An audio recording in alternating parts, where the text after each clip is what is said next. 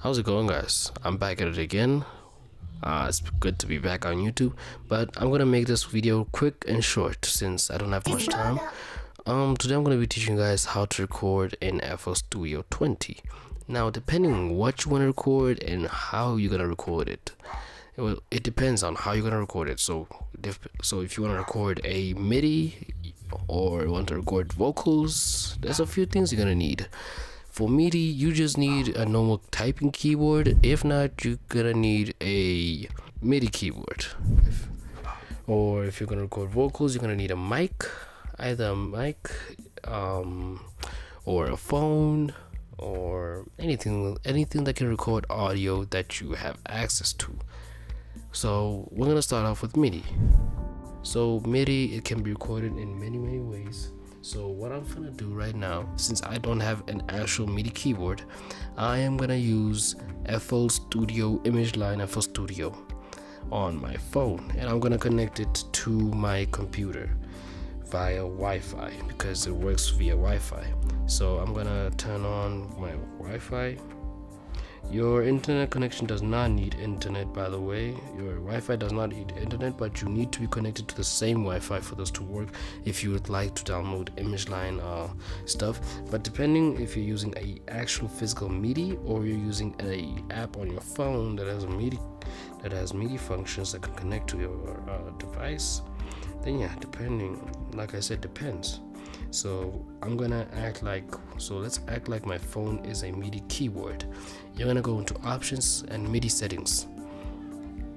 So now depending where your midi what your midi is how it's gonna pop up usually here it's gonna pop up. So you have a whole list of your midi keyboards that are built in.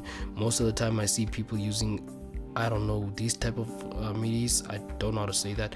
But yeah then you have some native if i'm right? Okay there's no native uh, instrument keyboards. Oh yeah here it is. The native machines and stuff like that and you got m oxygen. You can select the midi that you currently have but since i'm using a um, i'm using a generic generic uh, midi controller which connects via Wi-Fi and that is on my phone I'm gonna have to enable this so I'm gonna have to disable this and then re-enable it. And it should be pop it should pop up here. Here it is. Image line FL Studio remote. F image line FL Studio remote and here's the ping. So basically this is like a MIDI controller and now you're set to record. Now all you can do you can press record here and you can go ahead and hear the patterns or go ahead and create another one like for instance 11 let's say I want to record um, the FL keys I can go ahead and do that via on keyboard typing keyboard on my computer or the keyboard on my phone. I'm playing right now off of my phone but we can go ahead and play.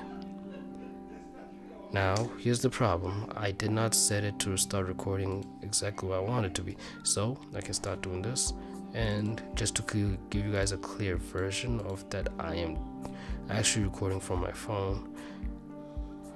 I'm just gonna play random keys um, and I'm gonna do some things here because yeah there's some settings I tweaked up there but you can go ahead and press play.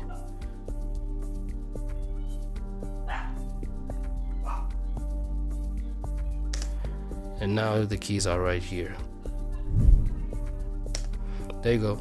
So I just recorded that using my phone and you can go ahead and tweak them fix it or re-record use control Z to erase it and re-record again. But now that we covered up the midis let's cover up the vocals. Now this one is a bit tricky. Let me go ahead and disconnect the Wi-Fi um, from my computer. Now depending on how your computer is built and how your mic is built. This can really differ big. So, what I can do, I can simply just go into mix, go into options, go into audio settings, use device FL Studio ASIO, and go to buffer length and you know select my microphone and speakers. So then I can go back to mixer choose an empty mixer go here and choose in1 and now you should be hearing my vocal with a bit of delay. So that means the track is armed. Now I can choose not to listen back to this by just taking down this volume and then record. I am just gonna keep this quiet and now recording now everything that I'm saying will be recorded here. Now how did I connect my mic to my laptop?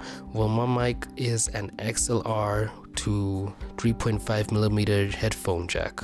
So my computer has a built-in sound card that can connect headphones and microphones. so since my microphone is an XLR an XLR the microphone wire is an XLR to 3.5 millimeter aux this gives me the ability to just directly connect my mic to my computer.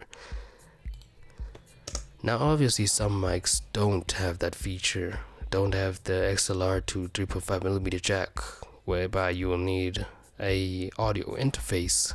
This is where the trick begins. You will need to connect your audio interface via Bluetooth via USB to your computer then go into options go into audio settings go into device and it should appear somewhere here or above here. Now since I don't have an audio interface I don't plan on buying it anytime soon because I have been making songs for a long time without it. Now since let's say you don't have a mic that has an XLR to aux or an audio interface. So how are you gonna record your vocals? Well you're gonna need to have a phone at least or a recording device with a good mic quality or you're gonna need to be a extra extra extra per, like an extra like great sound engineer. So yeah you guessed it. You're gonna record using the voice recorder from your phone using your phone's mic and you're gonna copy that recording to your FL Studio to your computer FL Studio and then drag drop drag and drop it like so into your FL Studio. And then from here on out let's just wait for it to load.